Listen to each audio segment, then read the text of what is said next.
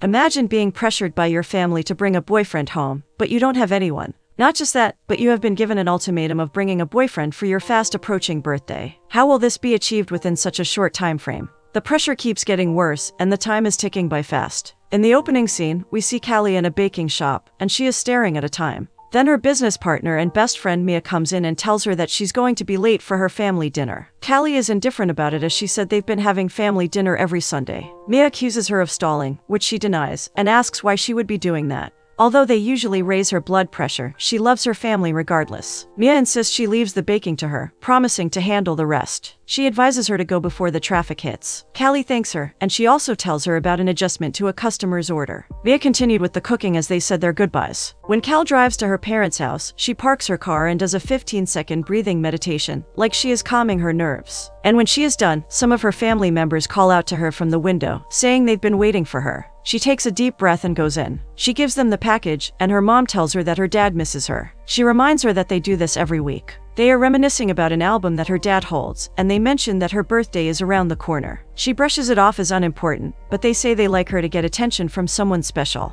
Her family wishes she had a boyfriend who would treat her in the special way she deserves, and advises her to get one. They suggest she keeps an open mind and tells her they invited someone over. This surprises her, and they all go in. As Callie walks into the living room, she is introduced to the family's dentist, Dr. Arthur, who tries to impress her by talking too much. She tries laughing at his jokes even though she isn't vibing with the doctor. Her baby brother Kyle came to her rescue. Soon it is time for dinner, and they all go into the dining room. Callie's dad reminds her of the first time she tried baking that turned out awful they laughed at it, and Callie says that was what inspired her to start her catering business. Arthur says he wasn't a big eater, and Callie says she wanted more. Kyle asks Arthur a question about the different types of toothbrushes, and this allows Arthur to talk more about his business. He dwells on his business, talking on and on, which eventually bores everyone at the dinner table. Callie and her mom wash the dishes, and she tells her not to dismiss Arthur outrightly without giving him a chance. Callie reminds her of a similar situation with an internist. Callie tells her mom that she doesn't need a man to be happy, she is too focused on her catering business. Her mom tells her to find a balance and not stay cooked up in the kitchen.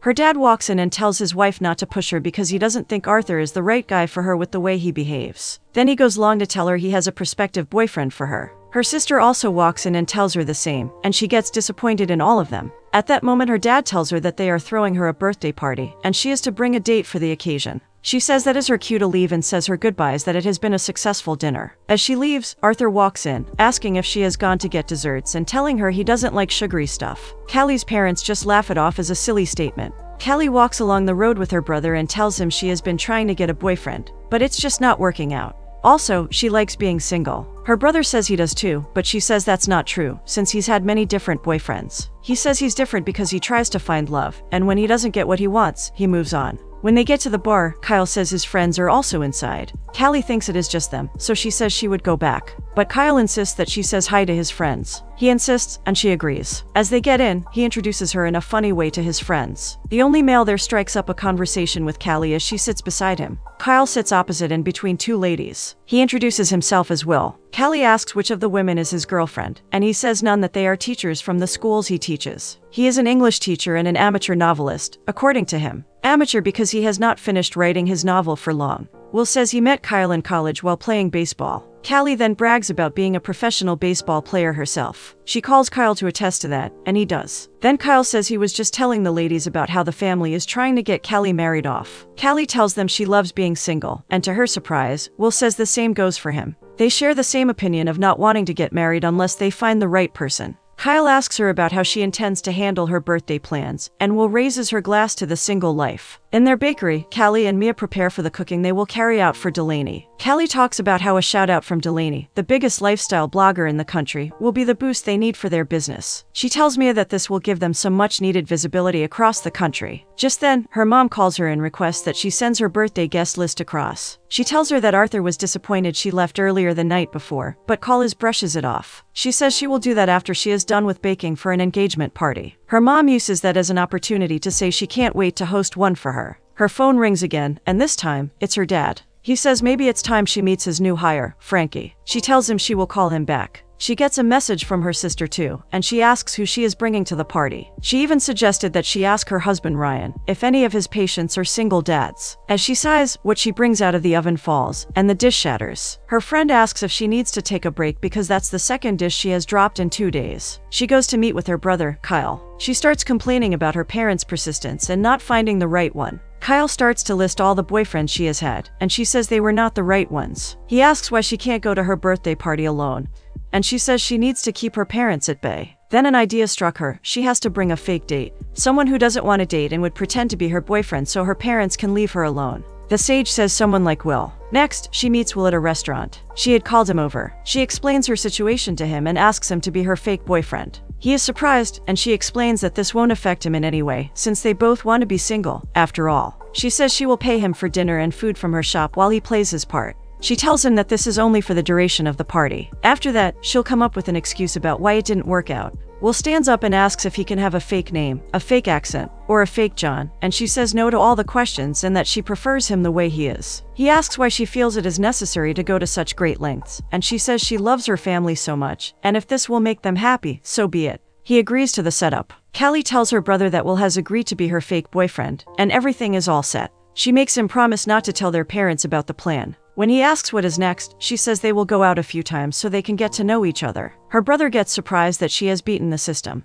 Then they parted ways. Callian will meet at the park. He holds a pack, and she tells him not to bring gifts for her since this is only a pretend date. He says it is not for her. Instead, he needs her opinion since she is a chef. She advises him on what he needed, and he thanks her. They eat the donuts he brought and discuss his novel and his writer's block. Will tells her his movie is based on his life, so he doesn't know how to end it because he is the main act, and he wouldn't know how his story ends. They get along, and he takes her through the woods to his favorite place even though it is a pretend date. He sets a spot up for them, and Callie tells him it's hard to imagine he is single. Then he tells her that all he cares about at the moment is being the perfect pretend boyfriend for her. They eat the snacks he brought along, and she asks if his mom partners him about being in a relationship like hers, and he says she does. They get along really well, and she enjoys his company. As they end the date and are walking out, she asks him if he would like to come over to her parents' place on Sunday, so she can introduce him to them. He says that's fine, but he has a date and will come after. She gets shocked that he has a date but didn't say anything. He says he can come after to meet up with dessert, and she says that's fine.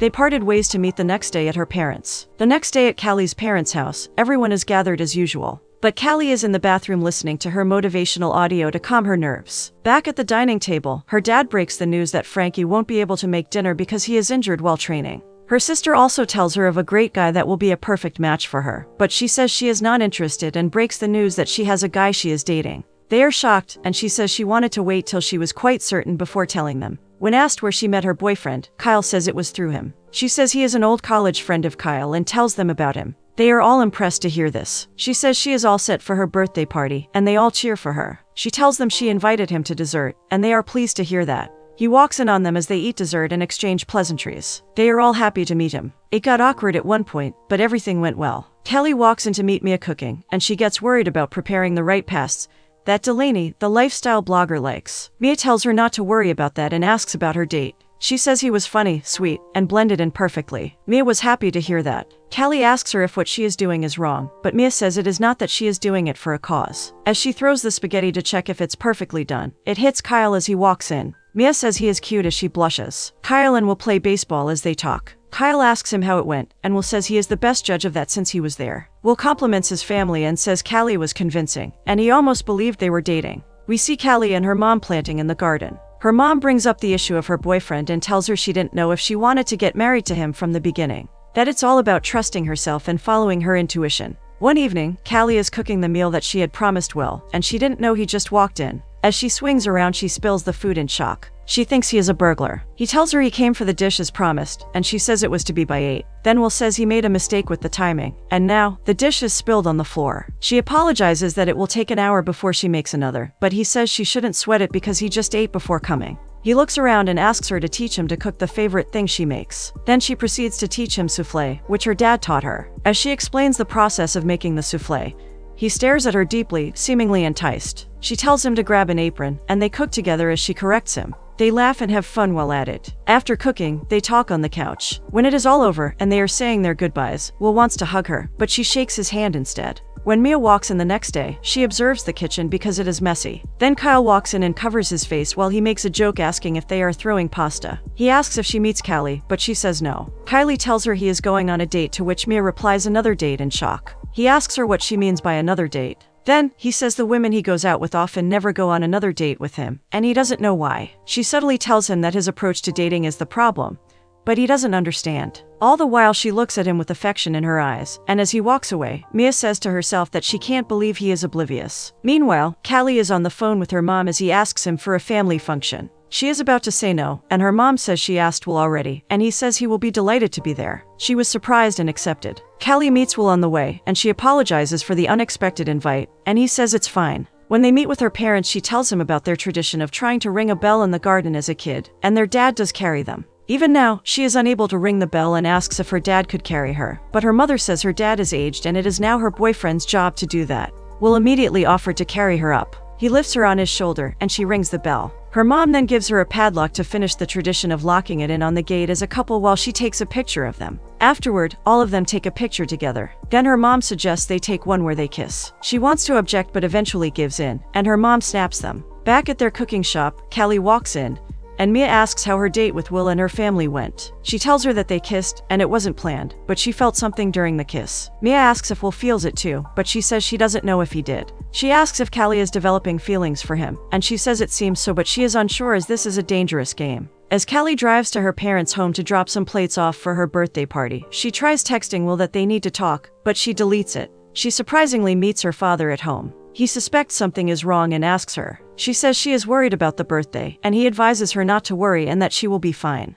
He tells her not to be afraid of doing things her way in life. Callie walks into Will's school, and as she bends over to read the novel displayed on Will's laptop, he enters the room. This startles her, and she says she wasn't expecting him to come in. She brings him the dish she spilled the other night, and he tells her she shouldn't have stressed herself for that. Will asks if she read his novel, but she denies seeing anything. He says she inspired him to get back to writing. She says Mia and her catering for an event Delaney is hosting and was about to ask if he will come with them when he interjects that he knows her. She invites him to the audition and says it's not part of his boyfriend's duties. He says he will check his schedule and get back to her. She awkwardly mentions the incident of them kissing and apologizes. He says it is okay and it won't happen again. Kyle and will meet again. Will says Callie is a great person, and Kyle tells him he likes her for real. He says it's a lot of fun hanging out with her, but once the pretend dating is over, he will have to walk away. Kyle tells him to ask her out after it's all over, and he says it will be difficult because she made her intentions clear from the get go. She doesn't want a relationship, and he doesn't want to ruin everything for her. He says he will have to get back to dating after it's all over to take his mind off her. Will later text Callie that he won't be able to make Delaney's event,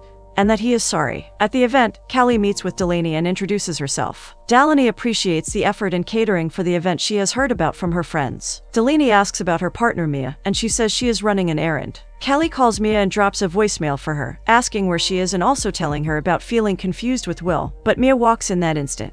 Callie tells her she just left a very long voicemail for her and she can delete it. Mia walks away to their table, and as Callie looks ahead, she sees Will sitting at a table with a lady. She is shocked because he had cancelled on her. Meanwhile, at Will's table, the lady he is with says she is surprised he interjected her over, and he says he is surprised she accepted. He suggests they should order his favorite dish, but she rejects that, and Will feels bad about it. Mia and Callie congratulate themselves on a great job done. Delaney also compliments their efforts and tells them they will talk later as he walks out. They get so excited and anticipate goodness from her. Later that night, Callie plays baseball alone, and a moment later, Will walks in saying he guesses she isn't the only one who visits the court that late. She asks what he is doing there, and he says he didn't expect to meet anyone there. Will apologizes for not coming to her event, and she says it's all good as she looks away. He asks if he can host a few, and she says it is fine, although she thinks he has other commitments. Will asks about the party to be held tomorrow, and Callie says it has not been as easy as he thought, because her life didn't get easier than expected. Instead, she has to deal with some emotions. Will asks what emotions, and she says stress, anxiety, disappointment, and the like. Will says it has been easy putting up with her family and pretending. Callie gets confused. She thinks that he had agreed to play along, and she is the major focus of attraction. Will says that's right, but he has to deal with his emotions. Callie asks him what he was doing, going on a date that night instead. Will gets shocked, and she tells him that the restaurant he brought his date to is where she held her event. Will said it was just dinner, and he did it to protect her feelings. She says what the point of doing when they are not dating. Will says she doesn't know him then, and Callie agrees to that since they are just pretending. Will tells her he will leave, and she apologizes. She hesitates to say something and instead tells him she will see him at the party, and they will get it over with. The day of the birthday party eventually came, and preparation is in full swing. Callie arrives and plays her motivational audio on the card. But she stops halfway through and gets out of her car. As she approached the house, her family came to hug her and wish her a happy birthday. Her dad gives her a present, and she proceeds to put it in her car. As she walks back towards the house, she sees Kyle and Mia hugging. At the party, everyone is dancing, and Callie asks her mom if she had seen Will. She says she has, and she even scheduled a song for them. The song comes on, and Will joins her on the dance floor. Callie apologizes for the other night, and Will says it's fine. He says they are both at fault and she shouldn't apologize. But Callie says she never should have put him in the situation, and Will says no matter how it turns out, he will take full responsibility. Will then tells her if they had met under different circumstances, he would have asked her out, and she smiles. He also says although both sides preferred being single at first, it's different for him now. As their dance ends, Will says he wants to take a walk, and Callie's sister drags her in for a group dance. At nighttime, the party is about to end, and Callie's father gives a speech and says he is proud of her and he is happy that Callie, and Will are two honey people who fell in love without a charade or setup. He tells Callie to come and give a speech. She thanks everyone and appreciates her family. She appreciates Will for always being there for her, but as she is speaking, she reveals that Will is not her boyfriend. She explains that they had an arrangement because of the pressure from her family, even though she knows they mean well. Everyone gets shocked at this revelation. She apologizes for lying to her family, speaking about her appreciation for her parents' special love. She apologizes that even though Will is not there, she is sorry for putting him through this situation. He is a great guy and will be the perfect person for his partner if he eventually decides to give love a chance. She says that pretending to be his girlfriend made her realize that what she really wants is to be his girlfriend. She walks out as Will appears from behind. Kyle meets her in the garden and says it is a great speech. She tells him to stop joking. He asks how she feels, and she says she's relieved. She asks when he is going to tell her about Mia and him. He says she is the first woman that did it for him. Then she says she didn't appreciate that their date almost made her miss the event with Delaney. He seems shocked, then says he isn't the side project and that it is other stuff. Callie gets confused and asks what it is. Kyle tells her to come and see it inside. As they walk in, she sees a table that portrays a history of Callie's favorite foods. Mia then walks in with a birthday cake for Callie. Kyle walks out, and Mia hugs her. Her parents came in to apologize for pressuring her even though they just want her happiness. They promise her not to be overbearing again. Callie's phone rings, and it is Delaney. They are her number one pick, and she even has better offers for them. They hug and celebrate the achievement. Later on, Callie's sister also apologizes for pushing her as well. She tells her that Will just left. Callie gets disappointed to hear that. As she sits on the swing with Mia, Will comes in with a flower he went to bring from his car as her birthday present. Apparently, he never left. Mia excused them. Will tells her that he fell in love with her on their first date and even brings identical seahorses for them and gives her one. She laughs and tells him she loves him as well. They proceed to kiss only to hear it is cake time. Mia brings that cake outside as Callie and will stand by the table. The people are singing the birthday song, and Will tells her he knows how the story he is writing ends and hugs her. Callie blows out the birthday candle, and they kiss as everyone looks at them in admiration.